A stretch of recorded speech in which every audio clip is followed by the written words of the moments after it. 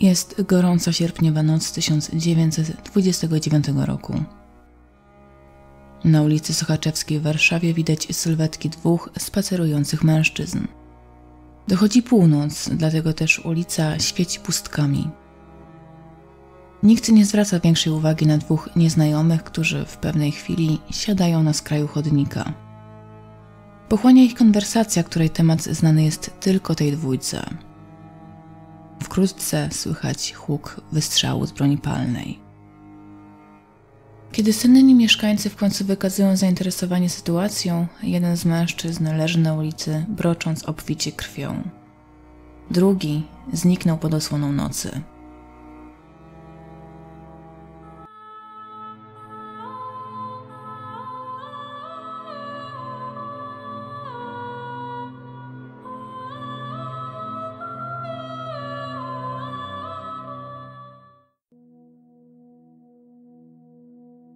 Przybyła na miejsce policja oraz zespół medyczny stwierdzają u mężczyzny ranę postrzałową tuż nad prawą małżowiną uszną. Przy ciele, zaraz obok prawej ręki Denata, leży rewolwer. Wstępnie założono, iż była to broń, z której wystrzelono śmiertelny pocisk, jednak hipotezę tę miała potwierdzić ekspertyza balistyczna. Ciało przewieziono do kostnicy miejskiej. Na podstawie dokumentów odnalezionych przy zmarłym ustalono, iż martwym mężczyzną jest niejaki Dawid Hasenfuss. A przynajmniej jest to imię, którego ja będę używać, bowiem jak zapewne wiecie z innych moich historii, prasa często podawała mylne imiona i nie była do końca zgodna co do właściwych danych personalnych. Tak też było i w tym wypadku. Dla spójności historii przyjmijmy, że Denat miał na imię Dawid – ale za to tym, czego byli pewni policjanci śledczy, było powiązanie Denata ze środowiskiem przestępczym. Hasenfuss był łączony z kręgiem przemytników oraz handlarzy ludzkim towarem, składającym się z Polaków, ale działającym na terenie Argentyny. Potwierdzono również, że to właśnie z broni znalezionej przy ciele Denata oddano śmiertelny strzał. Ale policji udało się również ustalić jeszcze jeden dość interesujący szczegół. Odnaleziony rewolwer był własnością jednego z policjantów, dokładniej mówiąc to mężczyzny zatrudnionego jako wywiadowca Warszawskiego Urzędu Śledczego. Funkcjonariusz miał zgłosić zaginięcie broni jakiś czas wcześniej. Rewolwer miał mu zostać skradziony podczas jednej z manifestacji komunistycznych i niewątpliwie był on wykorzystywany w środowisku przestępczym.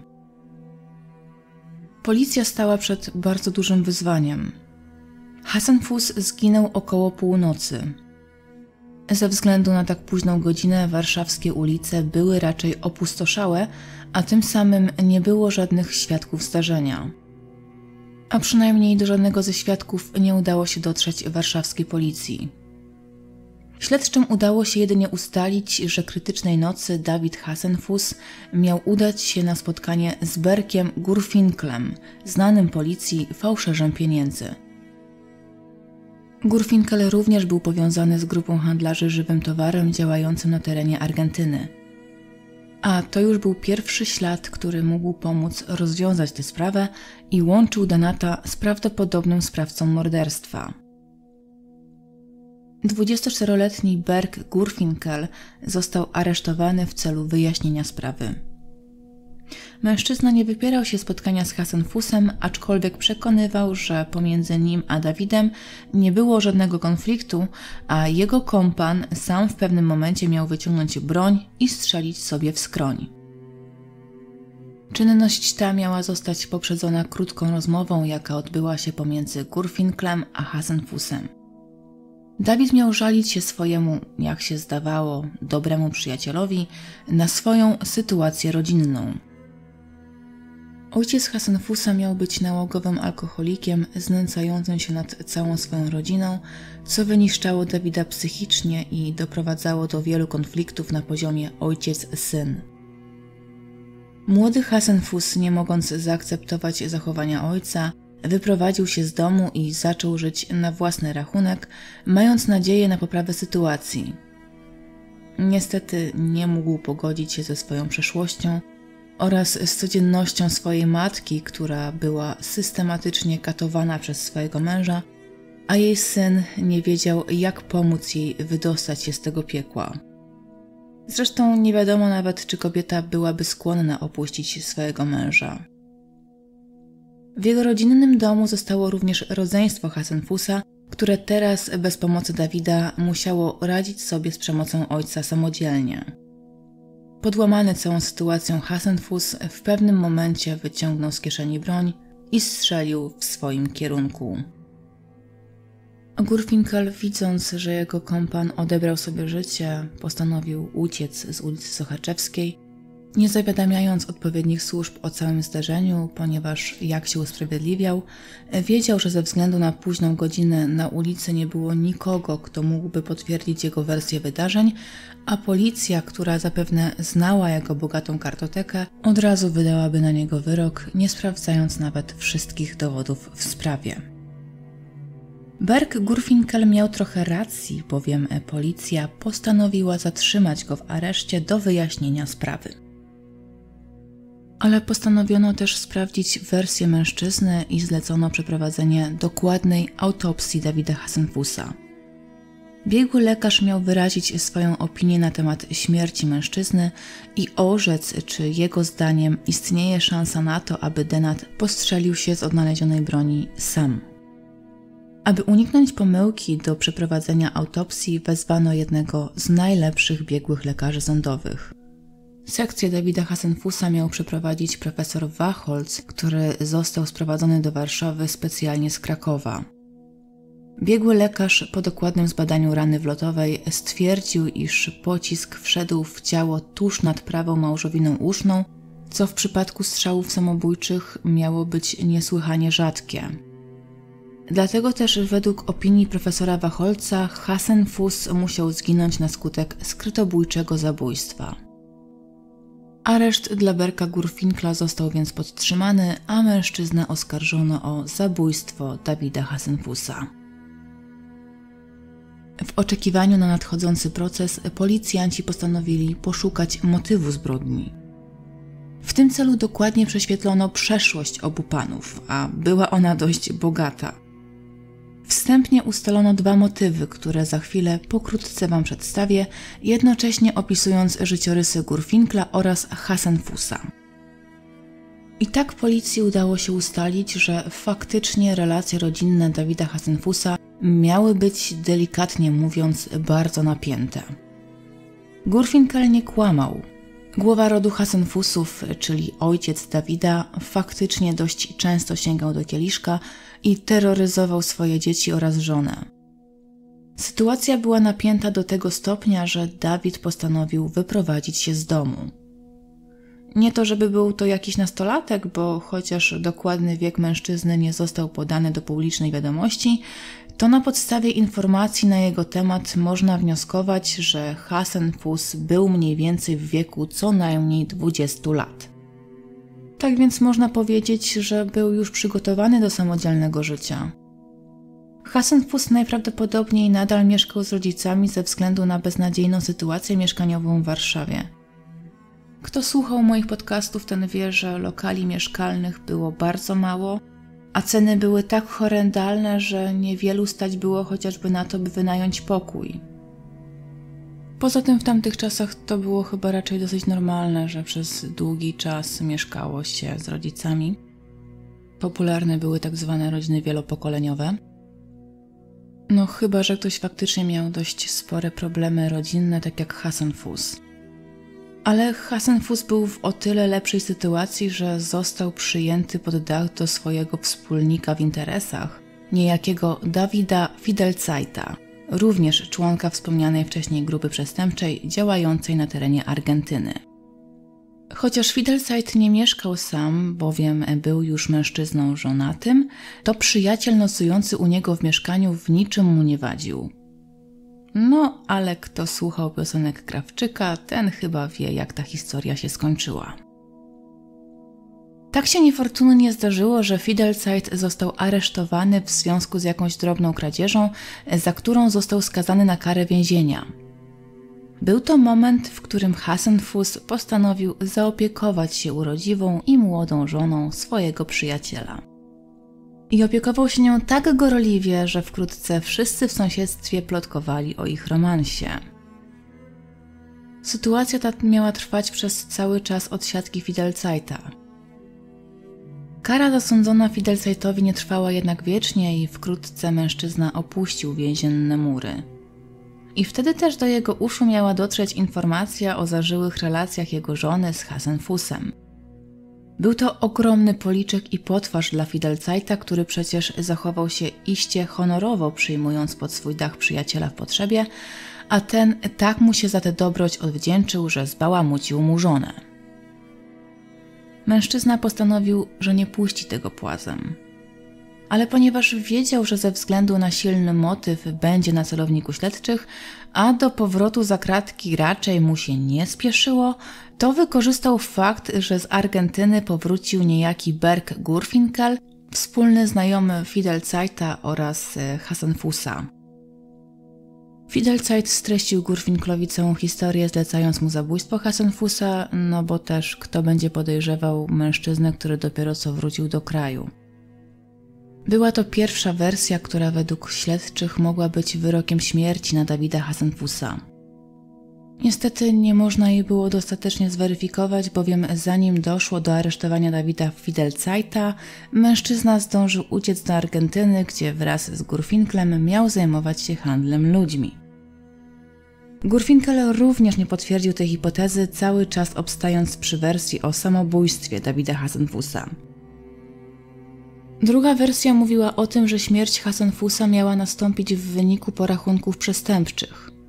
Była to tak zwana dintoira, czyli inaczej mówiąc honorowe zabójstwo w środowisku przestępczym.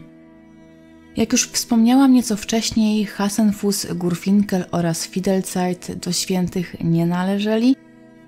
Nie wiadomo czym Hasenfus miał podpaść Gurfinklowi, ale zapewne w środowisku przestępczym o jakieś zatargi nie trudno. Oczywiście mogło być i tak, że oba te wątki łączyły się ze sobą, a Dintoira została wykonana na Hasenfusie właśnie za sypianie z żoną jednego z członków swojej grupy przestępczej. Były to jednak czyste spekulacje warszawskiej policji i nie zostały one niczym potwierdzone. Na początku kwietnia 1930 roku w warszawskim sądzie okręgowym rozpoczęła się rozprawa przeciwko Berkowi Gurwinklowi. Zabójstwo było trudne do udowodnienia ze względu na znikomą ilość świadków, a całe oskarżenie opierało się jedynie na ekspertyzie profesora Wacholca, który w swojej opinii stwierdził, że Hasenfuss najprawdopodobniej padł ofiarą zabójstwa. I właśnie w tym miejscu sprawa trochę się skomplikowała. Wezwany na świadka i jednocześnie biegłego profesor Wacholc zmienił swoją ekspertyzę. To znaczy, może nie do końca zmienił, bo nadal twierdził, że miejsce postrzału było stosunkowo rzadko wybierane przez osoby targające się na swoje życie. Lufę pistoletu dużo łatwiej jest sobie przystawić do skroni lub też poniżej małżowiny usznej. A Hasenfuss, przypominam, został postrzelony tuż nad małżowiną uszną. Jednakowoż strzał został oddany z prawej strony, a kierunek wlotu kuli, chociaż dość nietypowy, to nie wykluczał jednoznacznie samobójstwa, a mógł jedynie sugerować śmierć w wyniku zabójstwa. Zwłaszcza, że Hassan Fus był osobą praworęczną i mógł po prostu dość dziwnie przystawić sobie pistolet w momencie uniesienia. Ekspertyzę potwierdził drugi ekspert wezwany w sprawie, dr Grzywo Dąbrowski, zaznaczając, że szanse na samodzielne odebranie sobie życia przez Dawida Hasenfusa są co prawda niewielkie, ale nie można ich w 100% wykluczyć. Ekspertyza biegłych lekarzy była o tyle istotna, że podważała wcześniejsze ustalenia. A przecież opinia profesora Wacholca była główną podstawą do wniesienia oskarżenia przeciwko Berkowi Gurfinklowi. Istniało więc spore przypuszczenie, że oskarżony Gurfinkel uniknie wyroku skazującego. Zwłaszcza, że oskarżony mężczyzna uparcie trzymał się wersji mówiącej o tym, iż Dawid Hasenfus zabił się sam. Bez świadków i ekspertyzy wskazującej na sprawstwo Gurfinkla, wyrok skazujący stał pod dużym znakiem zapytania. Atmosfera w sądzie stawała się coraz bardziej napięta, a sędzia przewodniczący rozprawie zarządził krótką przerwę. Oskarżony Gurfinkel został wyprowadzony z sali do pokoju dla aresztantów. Podobno miał nawet uśmiechać się pod nosem, będąc przekonany, że zostanie uniewinniony. Ale jest to informacja niepotwierdzona i może być jedynie dziennikarską fantazją. Na korytarzu warszawskiego sądu okręgowego wyczuwało się jednak dość spore napięcie. Czy Gurfinkel zostanie skazany? Czy uda mu się wymknąć z rąk sprawiedliwości? Po godzinnej przerwie otwierają się drzwi pokoju aresztantów. Ze środka wychodzi Berg Gurfinkel, eskortowany przez dość postawnego posterunkowego Mariusza Frąckowiaka. Nagle z tłumu wyłania się niewysoki brunet, który sięgając za pazuchę wyjmuje broń, staje u szczytu schodów i trzykrotnie strzela w kierunku oskarżonego Gurfinkla. W tym momencie Gurfinkal stał akurat w połowie drugiej kondygnacji schodów prowadzących do Wydziału Karnego. W tle możecie zobaczyć zdjęcie wykonane w warszawskim sądzie okręgowym chwilę po tej strzelaninie. Funkcjonariusz uchwycony na fotografii wskazuje ślad po kuli, która przeszyła ciało Gurfinkla, po czym trafiła w ścianę budynku. Berg Gurfinkel został ranny w szyję oraz obojczyk. Zatoczył się na schodach, po czym stoczył się na sam dół. Posterunkowy Frąckowiak nie za bardzo przejął się losem rannego mężczyzny, albo też po prostu zdał sobie sprawę, że ma zaledwie kilka sekund na reakcję.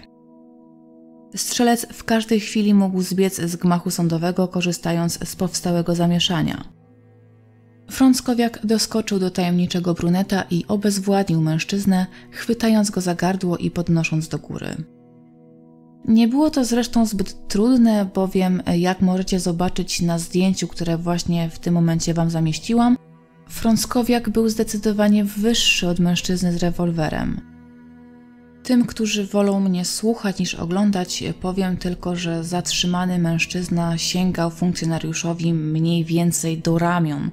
Tak więc, jak na mężczyzn, była to dość spora różnica wzrostu, a Frąckowiak naprawdę wyróżniał się takim no, dość wysokim wzrostem. Do rannego Gurfinkla wezwano pogotowie. Okazało się, że mężczyzna, choć ranny, to jednak nadal żyje. Natychmiast przetransportowano rannego mężczyznę do szpitala. Początkowo sądzono, iż mężczyzna został umieszczony w szpitalu więziennym, jednak tak naprawdę trafił on do warszawskiego szpitala imienia świętego Rocha, mieszczącego się na krakowskim przedmieściu 24. Obecnie szpital już nie funkcjonuje, chociaż budynek nadal istnieje. Został co prawda spalony w roku 1944, ale odbudowano go trzy lata później, po czym wszedł w posiadanie głównego kampusu Uniwersytetu Warszawskiego. Stan mężczyzny określano jako ciężki. Sprawcą strzałów okazał się Moszek Hasenfus, czyli brat zamordowanego Dawida Hasenfusa to znaczy prawdopodobnie zamordowanego, bowiem wyrok w tej sprawie ostatecznie nie zapadł, a Gurfinkel nie został w tej sprawie pełnoprawnie skazany. Przesłuchiwany Moszek Hasenfus stwierdził, że postanowił zabić Gurfinkla, bowiem chciał w ten sposób pomścić śmierć swojego brata. Mężczyzna podobno miał wykazywać duże oznaki niezadowolenia, kiedy dowiedział się, że Gurfinkel nie zginął na miejscu. Hasenfuss wygrażał, że nawet jeżeli Gurfinkel przeżyje atak, to i tak prędzej czy później dokończy swojego dzieła i zastrzeli mordercę swojego brata. Póki co na razie jego plany zostały ostudzone przez przybyłego na miejsce prokuratora Grabowskiego, który zadecydował o aresztowaniu Moszka Hasenfusa. Wraz z Hasenfusem aresztowano zamieszkałego przy ulicy Błońskiej 31 Pinkusa Kantora, oraz mieszkającego przy ulicy Niskiej 52 Izraela Scherera. Przy tym drugim podczas przeszukania odnaleziono rewolwer typu Mauser, co też mogło świadczyć o tym, że gdyby nie szybka interwencja policji, to warszawski sąd okręgowy mógł być świadkiem dużo większego rozlewu krwi. Aresztowanie mężczyzn poprzedziło przesłuchanie kuzynki oraz ciotki oskarżonego Berka Gurfinkla i obie panie były bowiem przekonane, że Scherer oraz Kantor działali wspólnie w porozumieniu z Hasenfusem, ponieważ zauważyły, że obaj mężczyźni osłaniali strzelca, tak by umożliwić mu oddanie strzałów. W szpitalu Świętego Rocha dokładnie zbadano rany Berka Gurfinkla. Jedna z kul przebiła skośnie szyję mężczyzny i wyszła z ciała na wysokości prawego policzka. Druga kula trafiła w staw lewego ramienia, gdzie też utkwiła. Wbrew pierwszym przypuszczeniom, stan rannego nie był aż tak poważny, jak zakładano. Owszem, Gurfinkel był dość mocno ranny, ale jego stan był stabilny i nie zagrażał jego życiu. W tle możecie zobaczyć zdjęcie mężczyzny, które zostało wykonane podczas jego pobytu w szpitalu Świętego Rocha. Po upewnieniu się, że stan mężczyzny pozwala na jego przesłuchanie, policjanci sprowadzili do szpitala aresztowanego Scherera oraz Kantora. Śledczy chcieli ustalić, czy Gurfinkel rozpoznaje kompanów Hasenfusa. Jego zeznanie miało być kluczowe dla sprawy, bowiem obaj mężczyźni twierdzili, że nie mają nic wspólnego z Hasenfusem i nikogo nie osłaniali. W sądzie byli jedynie jako wolni słuchacze procesu i ogólnie to nie wiedzą, dlaczego w ogóle zostali bezprawnie zatrzymani. No ale umówmy się, nawet jeżeli obaj mężczyźni byli pomocnikami Hasenfusa, to przecież naturalne, że do niczego by się nie przyznali, by uniknąć aresztowania. Podczas konfrontacji Gurfinkel stanowczo oświadczył, że okazani mężczyźni współpracowali z Hasenfusem i na pewno są jego pomagierami.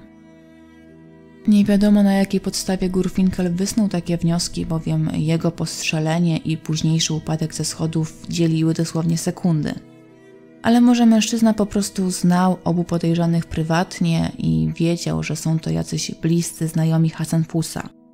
Pamiętajmy, że wszystkie te osoby były w mniejszym lub większym stopniu powiązane z warszawskim półświadkiem, więc mogły po prostu się znać. Jednocześnie Gurfinkel postanowił wykorzystać sytuację i raz jeszcze podkreślił, że Dawid Hasenfus postrzelił się sam, a on jedynie był świadkiem jego udanej próby samobójczej. Tym samym atak na jego życie i rzekoma zemsta za śmierć brata była całkowicie absurdalna. Ze względu na zaistniałą sytuację proces przeciwko Berkowi Gurfinklowi został odroczony, a sąd zmienił dotychczasowy środek zapobiegawczy względem oskarżonego. Do tej pory Gurfinkal czekał na wyrok sądu w areszcie śledczym, jednak wiadomo, że stan zdrowia nie pozwalał na jego przetransportowanie do więziennej celi, dlatego też Gurfinkel miał pozostać na wolności pod dozorem policyjnym aż do czasu całkowitej rekonwalescencji. Oczywiście w międzyczasie prokuratura szykowała się również do wniesienia oskarżenia przeciwko niedoszłemu zamachowcowi, jakim był Moszek Hasenfus. Tak więc Warszawę czekał nie jeden, ale dwa dość głośne procesy. Rzeczywistość jednak szybko zweryfikowała plany prokuratora. I tak jak Moszek Hasenfus był osadzony w areszcie śledczym i niewątpliwie wkrótce miał zostać postawiony przed obliczem sądu, tak Berg Gurfinkel, cóż za niespodzianka, rozpłynął się jak kamfora. Po dwóch tygodniach przebywania w szpitalu lekarze zadecydowali, że stan mężczyzny jest na tyle dobry, że może on zostać bezpiecznie przetransportowany do więziennej celi. Policja jednak przybyła do szpitala o dwie godziny za późno. Berg otrzymał wypis ze szpitala zanim policjanci przybyli z nakazem aresztowania i oczywiście wykorzystał tę sytuację. Musiało to być jakieś okrutne niedopatrzenie, bowiem nie chce mi się tutaj wierzyć, że lekarze celowo wypuściliby na wolność mężczyznę oskarżonego o zabójstwo.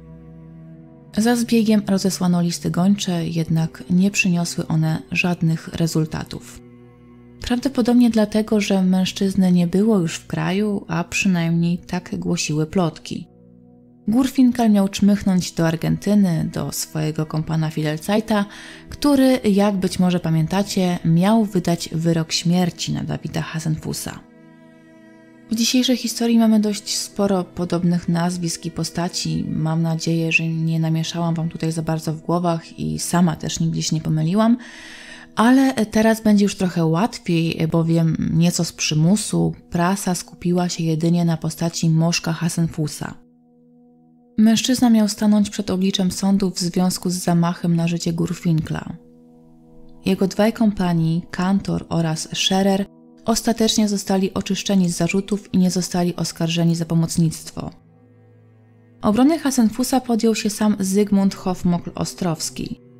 Być może mecenasa ruszyła ckliwa historia o obronie honoru brata, bowiem, jak być może wiecie, Hofmokl Ostrowski był jednym z najskuteczniejszych adwokatów II RP i mógł spokojnie wybierać sobie, czyjej obrony będzie chciał się podjąć. Już na wstępie mecenas złożył wniosek o zbadanie poczytalności oskarżonego – Hofmokl Ostrowski chciał bowiem udowodnić, że w chwili popełnienia zbrodni jego klient działał w stanie patologicznego zamroczenia umysłu. Czyli po prostu był tak zrozpaczony po śmierci swojego brata, że nie panował nad swoimi reakcjami, a dowiedziawszy się, że zabójca Dawida może nie ponieść zasłużonej kary, uniósł się emocjami. Gdyby biegli psychiatrzy potwierdzili, że Hasenfuss działał pod wpływem afektu, to z kolei byłby niepodważalny argument, by zmienić kwalifikację czynu z umyślnego zabójstwa na zabójstwo w uniesieniu. Sąd przychylił się do wniosku obrony, a Moszek Hasenfuss został skierowany na badania psychiatryczne. Ostatecznie rozprawa została wznowiona w maju 1931 roku. Niestety dzienniki nie zdecydowały się poinformować swoich czytelników o wynikach badań psychiatrycznych, jednak patrząc na linię obrony Hasenfusa, można wnioskować, że mężczyzna był jednak sądzony za próbę zabójstwa w afekcie. I już Wam tłumaczę, dlaczego tak uważam. Przed sądem przedstawiono wersję mówiącą o tym, iż Hasenfus udał się do sądu z bronią nie po to, aby strzelać do zabójcy swojego brata, ale dlatego, że miał zatargi z warszawskim półświadkiem i obawiał się o swoje życie. Załamanie nastąpiło w momencie, w którym Hasenfuss dowiedział się, że Gurfinkel może zostać uniewinniony. Ta informacja była dla mężczyzny tak druzgocąca, że zaczął walić głową w ścianę. Kiedy zobaczył, jak zabójca jego brata opuszcza salę rozpraw i udaje się do pokoju dla aresztantów, i to jeszcze z takim cynicznym uśmiechem na twarzy, coś w nim miało pęknąć. Może i Moszek nie był osobą bez skazy, ale kochał swojego brata przeraźliwie mocno, a tu jego zabójca śmieje mu się w twarz. Co było dalej, Hasenfuss nie pamięta, gdyż działał pod wpływem całkowitego zamroczenia umysłu. Czyli jak sami widzicie, Hasenfuss zapewne po konsultacji ze swoim obrońcą obrał strategię mówiącą o zbrodni w stanie większego uniesienia. Wizerunek Hasenfusa został udostępniony i możecie bez problemu zobaczyć, jak wyglądał oskarżony mężczyzna, ale tym, którzy w tej chwili nie mogą spojrzeć na ekran, przytoczę, jak Hasenfus został opisany przez międzywojennych dziennikarzy. Niski, kędzierzawy brunet o tępym wyrazie twarzy. Zwykły, przeciętny typ żydowskiego subiekta. I nie można tutaj zaprzeczyć, że opis ten jest wyjątkowo trafny. Obrana linia obrony okazała się po części skuteczna. Mówię tutaj po części, ponieważ Moszek mimo wszystko został uznany za winnego, ale za próbę zabójstwa w afekcie został skazany na 3 lata pozbawienia wolności. Wyrok ten został później złagodzony na 2 lata pozbawienia wolności. Cała sprawa ma swój mały epilog. Jak być może pamiętacie, obu podejrzanych o zabójstwo Dawida Hasenfusa uciekło przed polskim wymiarem sprawiedliwości do Argentyny. Z nieznanych pobudek jeden z podejrzanych postanowił po jakimś czasie wrócić do kraju. I tutaj trzeba pochwalić skuteczność międzywojennej policji.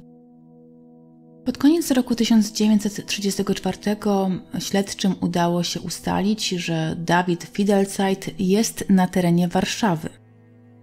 Nie był on co prawda głównym podejrzanym w sprawie, aczkolwiek mężczyzna był podejrzewany o współudział w zbrodni, a wręcz nawet uważano, że był on jej zleceniodawcą. A to już dawało policji spore przesłanki do tego, by aresztować mężczyznę. Dawid Fidelzeit stanął przed obliczem sądu w roku 1935. Tym razem zapobiegawczo wszyscy świadkowie zeznający w procesie zostali poddani dokładnej rewizji, zanim wpuszczono ich na salę rozpraw. Warszawski wymiar sprawiedliwości widać tutaj wyciągnął lekcję z procesu Gurfinkla, zwłaszcza, że jednym ze świadków miał być m.in. Moszek Hasenfus, który w międzyczasie został już zwolniony z więzienia. Lepiej się wcześniej zabezpieczyć, bo nigdy nie było wiadomo, co też mężczyźnie znowu strzeli do głowy. Tym razem jednak proces odbył się bez większych niespodzianek. Ostatecznie Dawid Fidelzeit nie został skazany. Nawet jeżeli sąd widział przesłanki sugerujące winę mężczyzny, to też w sprawie nie było żadnych dowodów, które mogłyby świadczyć przeciwko Fidelzeitowi. Co się zaś tyczy Berka Gurfinkla, to mężczyzna nigdy nie powrócił do kraju, a nawet jeżeli powrócił, to też informacja ta nie wypłynęła do policyjnych wywiadowców. A tym samym mężczyzna nigdy nie został ponownie oskarżony o zabójstwo Dawida Hasenfusa. Oficjalnie więc sprawa zabójstwa przy ulicy Sochaczewskiej w Warszawie nie została wyjaśniona, ale myślę, że mamy tutaj wystarczającą liczbę przesłanek, która może sugerować winę lub niewinność Gurfinkla. Dlatego też jestem ciekawa, co wy myślicie w tej sprawie, a w zasadzie to o tych dwóch sprawach. Czy Gurfinkel mógł być odpowiedzialny za zabójstwo Hasenfusa? Czy brat zmarłego mężczyzny faktycznie działał w efekcie, czy też działał z czystą premedytacją?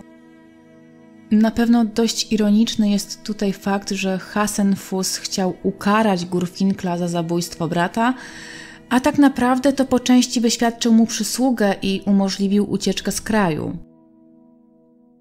Dzisiejsza sprawa w ogóle jest dość ciekawa, bowiem wszystkie postacie, wszystkie osoby były w mniejszym bądź większym stopniu powiązane ze światem przestępczym, no i miały swoje za uszami i nie były takie czarne albo białe. Nie ma tutaj typowego czarnego charakteru, ani nie ma tutaj e, typowego bohatera na białym koniu. Dawid Hasenfuss też nie był postacią krystaliczną, już pomijam tutaj w ogóle ten fakt, że parał on się handlem ludźmi, co jest wyjątkowo niegodziwym zajęciem.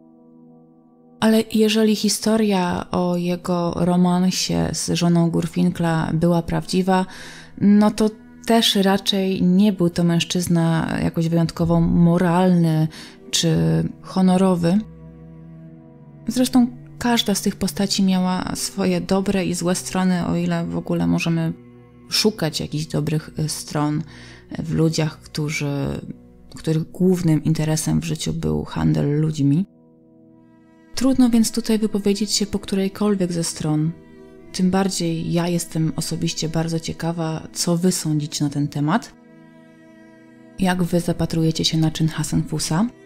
A ja dziękuję Wam bardzo za wysłuchanie dzisiejszego podcastu i już teraz zapraszam Was 29 marca na kolejny odcinek.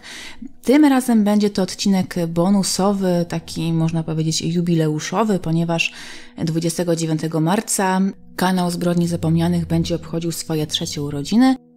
I tak, jak sprawdzicie, to kanał oficjalnie został założony 21 marca, ale przez jakiś czas nie wrzucałam tam filmu, tylko próbowałam się nastawić do tego psychicznie. I tak pierwszy mój podcast o Marii Zajdel został wrzucony 29 marca. Z tej okazji pozwoliłam Wam wybrać temat y, odcinka jubileuszowego. Zapytałam was, was na Instagramie, o czym chcielibyście usłyszeć i wygrała historia porzuconego dziesięciolatka. Tak więc już teraz bardzo serdecznie Was zapraszam. Mam nadzieję, że odcinek chociaż troszeczkę inny niż zazwyczaj e, przypadnie Wam do gustu i wyda Wam się interesujący. A za wszystko inne podziękuję Wam już w odcinku jubileuszowym. Trzymajcie się ciepło. Do usłyszenia wkrótce. Pa!